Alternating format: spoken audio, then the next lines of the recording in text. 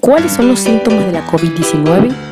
Fiebre, cansancio o dolor muscular, diarrea, dolor de cabeza, rinorrea, congestión nasal, dolor de garganta y dificultad para respirar. ¿Cómo se propaga la COVID-19?